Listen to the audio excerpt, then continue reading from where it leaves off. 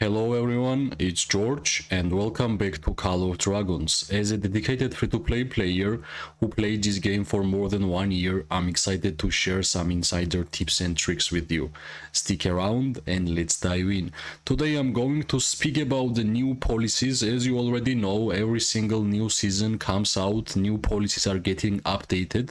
So finally season sub 2 uh, is here and we have new policies in the town and we will discuss what kind of changes, what kind of new options we have and what kind of choices you are going to make every new season like policies are getting changed. They are getting some new skills new policies add some things are getting changed or maybe some questionable changes are going to happen in the policy section.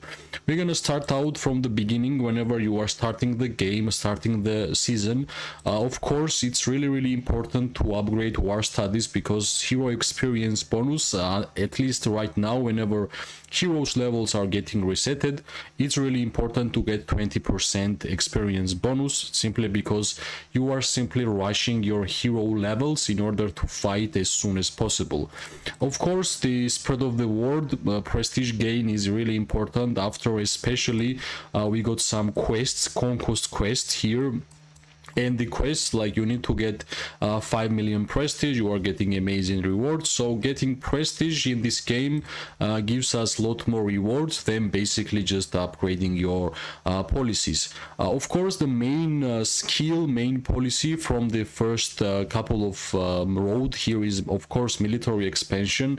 Like anything which gonna give you legion capacity in this game is amazing skill. So as everyone does i would suggest to rush military expansion because yeah like having more units in your legion it gives you more survivability and more time to deal more and more damage.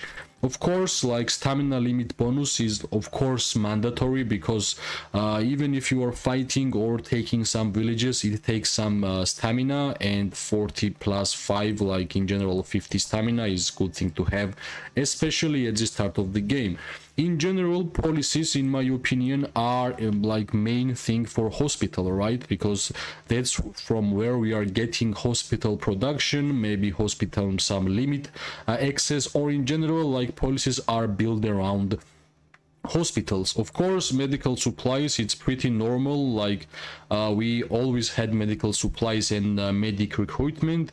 Uh, like you can upgrade uh, both of them so there is no such a choice in terms of picking one right? After that we have resource healing um, like by by every single season we are progressing. Uh, resource healing are getting more and more popular like it costs way less uh, for example in season sub 2 to uh, resource heal your troops. And of course if you are on a late game if you upgraded every single uh, research or building or like in general constructions you have free resources so why not use uh, resources for healing?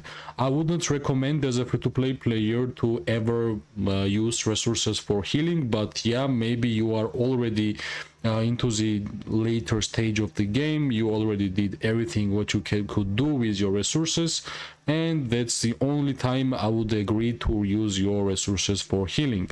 After that we have a first choice, um, fire turret, ice turret and poison turret.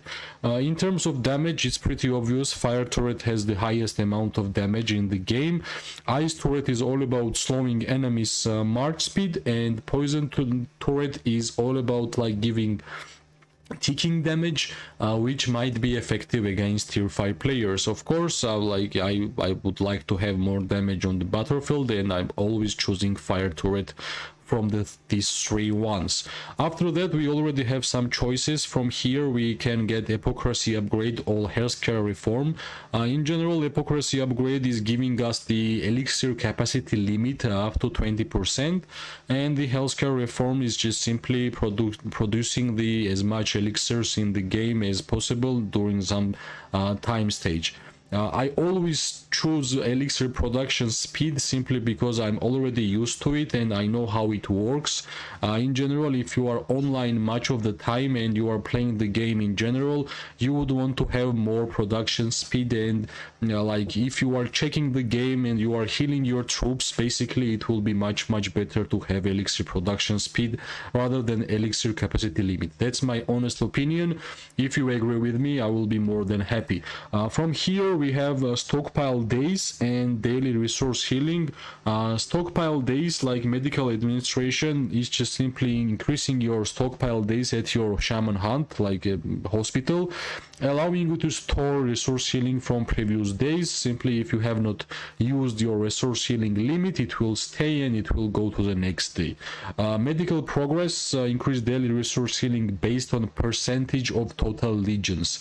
Like I always like to choose anything which gonna give you percentages like in terms of like attack defense and even about healing right?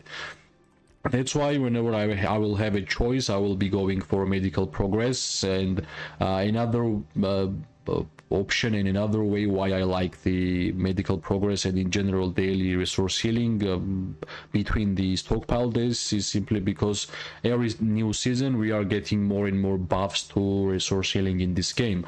Uh, after that we have augmented defense, which is simply giving us more uh, levels to our turrets, uh, administrative excellence uh, allowing us to catch more pets, which is really important and in general uh, for me pets and the pet feature is one of the best features we have ever had in Call of Dragons.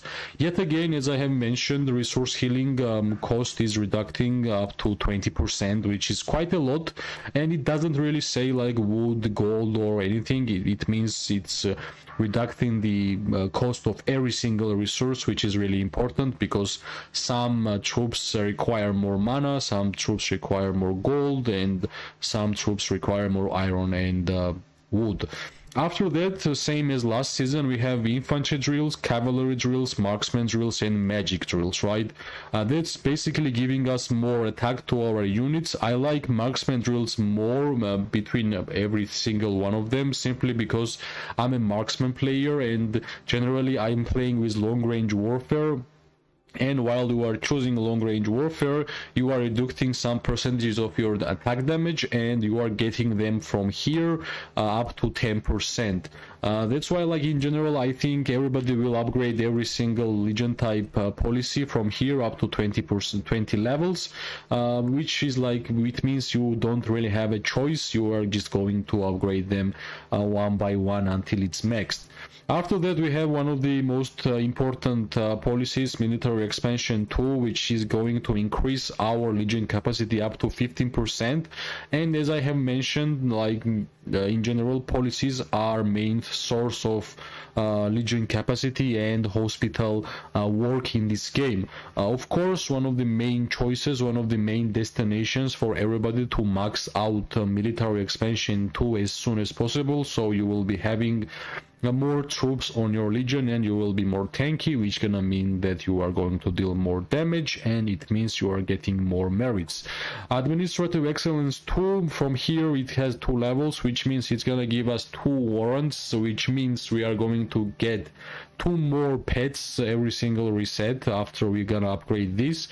Pretty great. I like everything what is around pet system which is uh, yet again i will mention it my best and my favorite feature in the game. After that we have another choice uh, medical supplies too which is going to give us daily elixir production and elixir production speed. Uh, well from here as i have mentioned i play this game daily. I log in many many times per day. That's why i always choose uh, production speed because if you are logging into the game many many times a day and you are clicking to heal your troops uh, it has a more benefits because like uh, elixir production speed uh, is much better whenever you are online much more rather than just simply having some uh, elixir production like pure stats 5000 more um, elixir production. Like everything was gonna give us percentages is great in my opinion. After that we have another choice um, daily resource healing and daily resource healing from both of them. Um, like from here we have 15,000 from here we have 0.5 percent. Uh, well as I have mentioned um, daily resource healing in terms of percentages are getting buffed every single new season. So like for this season I'm going to take everything uh, which gonna give us percentage because yeah like uh, it it doesn't really matter as a free to play player i'm rarely using my resources to heal my troops so uh, simply just because I have a choice, I will just go with the percentages. After that, rapid movement, um, like um, as a marksman player, honestly, uh, having one of the slowest march speed units in the game, everything which gonna give me more march speed will be beneficiary for me uh, especially as a slowest legion type in the game as a marksman main. Of course it will be suitable for every single legion type in the game and in general like having pure stats additional stats are great thing to have especially from the policies. Of course another way for you to increase legion march speed is through the research tab and having additional march speed like even 5% is quite a lot. Uh, from here we have the newest uh, policies um, in the game uh, and let's discuss them right. First one is healthcare benevolence. I'm not really sure if I read it correctly, uh, which gonna give us 50k uh, elixir production and also prestige gain up to 10%. Healthcare uh, reprieve, I'm sorry if I'm not reading it right. Uh, 20,000 elixir production, also resource healing base cost reduction 25%, and also a daily resource healing quantity limit of half million, right?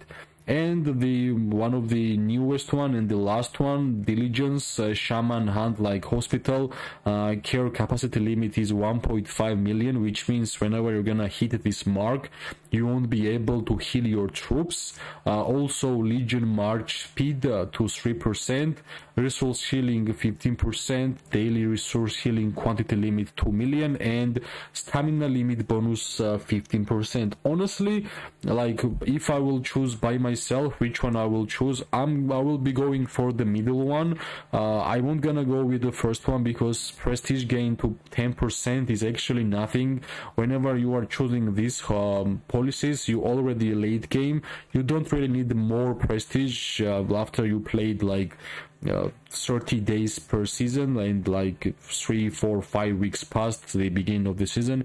You don't really care about getting more prestige at this point and why I'm not choosing the third one? Because yeah like everything which is having a limit in this game I don't like honestly. I I understand Legion March speed is great 15% is great 2 million uh, quantity limit is fine. Stamina limit bonus is 15% i guess whoever wants uh, to choose the third one is tier 5 player. Uh, we uh, we call them whales. Uh, if you have like more than 100 million power you are already whale. Uh, and i guess that's the only players who might even choose the diligence. Uh, but honestly from these three my preference would be the reprieve and that's the one i'm going to choose um, like tell me your opinion about this newest um, like policies. I guess the third one is quite interesting. A lot of buffs a lot of uh, negative amount of limit like 1.5 million is quite a lot but having limit in this game is not good. Like simply i would like to uh, fight and uh, like do any activity in the game as much as possible. And whenever something is limiting me to do that uh, that's the big no-no for me. So from here i will be choosing the middle one. Uh, the last uh, cursed sword we already had this uh, policy last season and i simply did not even level it up simply because whenever you're gonna uh, upgrade the cursed sword? It means that your legion deals 5% more damage. That sounds great but when fighting other lords 2% of your severely wounded units will die immediately. So now you can imagine how painful it will be uh, that you you tried your best to get more and more troops for your future wars and you are investing your time you're investing your resources and you are pretty happy that you have a lot of troops and suddenly you might misclick it might not read it and you are basically losing more and more troops per fight. Especially if you are tier 4 player and fighting against tier 5 players getting dead troops by simply fighting on the field it really really it, it, it doesn't really feel good right? Uh, i understand some players who wants to be risky especially tier 5 players who are confident that uh, they will have more and more troops um, by just adding some more funds to the game. That might be the only way in my opinion to use this uh, policy in a good way but honestly for every single free-to-play player my advice would be to never upgrade the Curse Sword. Uh, actually, that was like a small review about uh, policies in Season Sob 2. Uh, the newest ones are at the end, um, healthcare policies, and as I have mentioned, I would be going for the reprieve, and I'm, I'm not going to upgrade this Curse Sword, no chance. I don't want to see my troops dying uh, fighting some tier 5 players. I would prefer to wait uh, for my hospital to heal my troops, I don't really care about this 5% uh, more damage when I know that 2% of my severely wounded units are going to die. Uh, that's the best thing uh, in this game that uh, whenever you are fighting you can simply just wait and wait until you will heal your troops and they are not gone and if you will somehow going to misclick the curse sword uh, you will feel a lot of pain because I have heard I have seen a lot of players who just simply upgraded this policy didn't really read it and whenever somebody hit their legion region or you know, they were fighting in the war on the war during the war and they checked their reports uh, they stopped playing the game. So in order for you guys to have fun uh, to complete continue playing this game for more than one month or one year it would be much better to collect your troops not to make them die and have fun with what you have. Uh, so far that's it about the policies. Like main ones is of course military expansion. One military expansion. 2 everything which is going to give you elixir production speed is amazing and from the last choice from the healthcare policies i will be going for reprieve uh, as always tell me your opinion about new policies. Tell me what do you think about uh, the new changes about these new three uh, policies which have which we got uh, from this season. And in general if you like the video press like subscribe share. It always gives me more motivation to make content for this game. Uh, i hope everybody will have amazing day morning or night wherever you are. We are going to see each other very very soon. Bye bye and good luck